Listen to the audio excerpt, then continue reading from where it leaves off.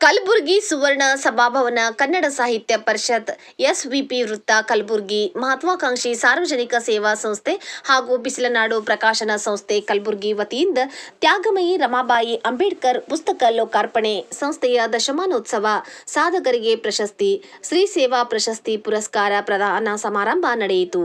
ಈ ಸಂದರ್ಭದಲ್ಲಿ ದಿವ್ಯ ಸಾನ್ನಿಧ್ಯ ವಹಿಸಿದ ಶ್ರೀ ಗುರುಪಾದಲಿಂಗ ಶಿವಯೋಗಿಗಳು ಮುತ್ಯಾನ ಬಬ್ಲಾದ ಬಸವಶ್ರೀ ಪೂಜಶ್ರೀ ಸಿದ್ದರಾಮ ಶರಣರು ಬೆಲ್ಲಾಳ ಅಧ್ಯಕ್ಷರು, ಬಸವ ಮಹಾಮನೆ, ಬಸವ ಕಲ್ಯಾಣ ಶಾಸಕರು ಹಾಗೂ ಕೆಕೆಆರ್ಡಿಬಿ ಅಧ್ಯಕ್ಷರು ದತ್ತಾತ್ರೇಯ ಸಿ. ಪಾಟೀಲ್ ರೇವೂರ್, ಇಶಾ ಪಂತ್ ಜಿಲ್ಲಾ ಪೊಲೀಸ್ ವರಿಷ್ಠಾಧಿಕಾರಿ ಕಲಬುರ್ಗಿ, ಆಳಂದ ಶಾಸಕರು ಸುಭಾಷ್ ಗುತ್ತೇದಾರ್, ದೇವಯ್ಯ ಗುತ್ತೇದಾರ್, ಸ್ಥಾನಿಕ ಸಂಪಾದಕರು ವಿಜಯ ಕರ್ನಾಟಕ ಕಲಬುರ್ಗಿ, ಇತರ ಗಣ್ಯ ವ್ಯಕ್ತಿಗಳು ಉಪಸ್ಥಿತರಿದ್ದರು.